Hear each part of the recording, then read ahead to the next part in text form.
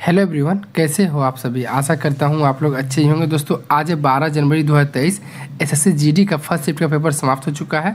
तो इसमें पूछे गए GK plus science plus Hindi plus current affair के हम लोग मैक्सिमम प्रश्न देखने वाले हैं। ऑल क्वेश्चन आर सौ परसेंट रियल ऑथेंटिक है। आप क्वेश्चन पेपर दे के आ रहे तो क्वेश्चन मिला के कौन उसको बताना एक बार पेपर सौ परसेंट रियल है भी या नहीं। वीडियो का पीडीएफ आपको डिस्क्रिप्शन बॉक्स में टेलीग्राम का लिंक दिया, उसे ज्वाइन कीजिए, वहाँ पे मिल जाएगा। या तो इस नंबर पे व्हाट्सअप भी करके पीडीएफ ले सकते हैं। ऐसे सी जी एल दो बाईस का ऑल शिफ्ट का पीडीएफ ले सकते हैं, इस नंबर व्हाट्सअप करके। आपको कई बार क्वेश्चन रिपीट करता है ऐसे सी जी एल दो बाईस का ऑल शिफ्ट का पीडीएफ ले सकते हैं। आइए देखते हैं हम लोग। फ़र्स्ट शिफ्ट में कैसे कैसा क्वेश्चन पूछा गया था। देखिए, एक क्वेश्चन पूछा गया था, इनमें से कौन सा क्रिकेटर नहीं है?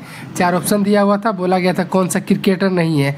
ऑप्शन में था साइना नेहवाल एक। अब बताइए साइना नेहवाल क्या क्रिकेट से संबंधित है? वो तो बैडमिंटन खिलाड़ी है। तो ये हो जाएगा आंसर कौन क्रिकेटर नहीं है पूछा गया था।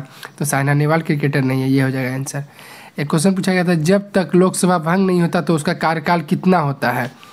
जब तक लोकसभा भंग नहीं होता तो उसका कार्यकाल कितना होता है? तो इसका राइट आंसर क्या हो जाएगा?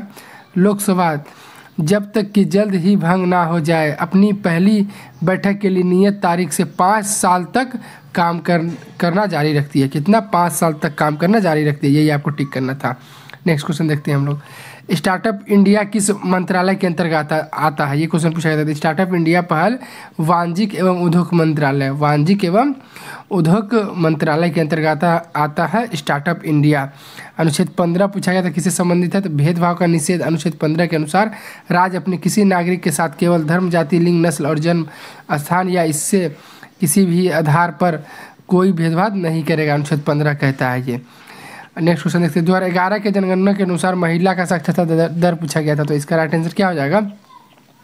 दो हज़ार ग्यारह की जनगणना के परिणाम बताते हैं कि देश में साक्षरता की वृद्धि हुई है। देश में साक्षरता दर पुरुषों की, के लिए चौहत्तर पॉइंट ज़ीरो चार है और बिरासी पॉइंट चौदह।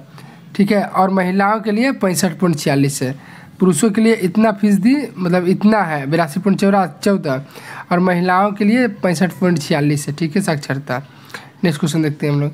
हिंदी कुछ क्वेश्चन देखते हैं। हिंदी के क्वेश्चन पूछा गया था कि हवा का पर्यावाची शब्द क्या होता है? तो पवन, वायु, समीर, हवा, अनिल, ये सब हवा का पर्यावाची शब्द होता है, पूछा गया था। अग्नि का विलोम शब्द पूछा गया था तो अग्नि का विलोम शब्द क्या होता है? अग्नि का विलोम शब्द जल होता है वाटर होता है।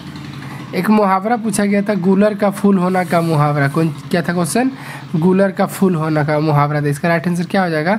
दुलोभ होना या दिखाई ना देना। गुलर का फूल हो गया मतलब अचानक से विलुप्त हो गया, समझिए। दुर्लभ होना या दिखाई ना देना गुलर का फूल होना। रात का विलोम शब्द कौन सा नहीं है? रात का विलोम शब्द कौन सा नहीं है? अब चार ऑप्शन क्या क्या था, उसी से आपसे टिक करना था। रात का विलोम शब्द दिन होना चाहिए तो दिन वाला ऑप्शन नहीं होना, नहीं होगा आपका आंसर। पूछा गया था, रात का विलोम शब्द कौन सा नहीं है? नेक्स्ट क्वेश्चन देखते हैं। क्वेश्चन पूछा गया था, वर्तमान राज्यसभा अध्यक्ष कौन है? दो हज़ार बाईस के तो इसका राइट आंसर क्या जाएगा। भारत के उपराष्ट्रपति, राज्यसभा के पदन सभापति होते हैं। हम लोग मैथ रीजनिंग का बात कर लें। पहले तो सबसे पहले आप यदि इस शिफ्ट का पेपर देखे आ रहे हैं तो आपसे रिक्वेस्ट है कि जो भी आपको प्रश्न इसके अतिरिक्त याद है तो कमेंट से कमेंट कर दीजिए, आगे वाला स्टूडेंट को हेल्प मिलेगा। मैं तो बात करें तो percentage profit and loss ratio average और time and work time and distance ये सबसे पूरा क्वेश्चन आ रहा है। मेंसुरेशन सबसे एक एक क्वेश्चन आ रहा है। मतलब अर्थमेटिक का पार्ट आपको कवर करना है। एडवांस से ना के बराबर क्वेश्चन पूछा जा रहा है एडवांस में। रीजनिंग में बात करें तो ब्लड रिलेशन से क्वेश्चन आ रहा है। कोडिंग डिकोडिंग से सबसे ज़्यादा रीजनिंग रीजनिंग में बेटेज है। कोडिंग डिकोडिंग का। ब्लड रिलेशन से एक एक क्वेश्चन डाइस पासा से एक क्वेश्चन पूछा जा रहा है। सीटिंग अरेंजमेंट से लगभग दो क्वेश्चन कथन निष्कर्ष वाले एक क्वेश्चन लगभग पूछा जा रहा है। कभी कभी मिरर इमेज से भी क्वेश्चन पूछ दे रहा है किसी किसी शिफ्ट में और कैलेंडर को क्लॉक से ना के बराबर पूछता है किसी किसी शिफ्ट में क्वेश्चन पूछ दे तो पूछ दे कैलेंडर क्लॉक से। पेपर कटिंग, फोल्डिंग, एक एक क्वेश्चन किसी किसी शिफ्ट में आ रहा है तो ये सब चैप्टर आप लोग करके जा सकते हैं। यदि आप इस शिफ्ट का पेपर देके आ रहे हैं, इससे अतिरिक्त आपको क्वेश्चन याद है तो कमेंट कमेंट कर दीजिएगा। बाकी आपको यदि इस वीडियो का पीडीएफ डिस्क्रिप्शन में टेलीग्राम का लिंक दिया है, उसे के लिए वहाँ मिल जाएगा। या तो ऐसे सी जी एल दो हज़ार बाईस का ऑल शिफ्ट का देखिए इसका पी डी एफ़ ले लीजिए। आपको, आपका आगे एग्ज़ाम है तो आपको हेल्प मिलेगा। व्हाट्सअप वीडियो की स्टार्टिंग व्हाट्सअप नंबर मिलेगा मिला होगा, उसमें मैसेज करके जी, ऐसे सी जी एल दो हज़ार बाईस का जो एग्ज़ाम समाप्त हुआ था, उसका ऑल शिफ्ट का जी के इसका पी डी एफ़ ले लीजिएगा। तो चलिए मिलेंगे नेक्स्ट शिफ्ट के वीडियो के साथ। तब तक के लिए जय हिंद, जय भारत, वंदे मातरम।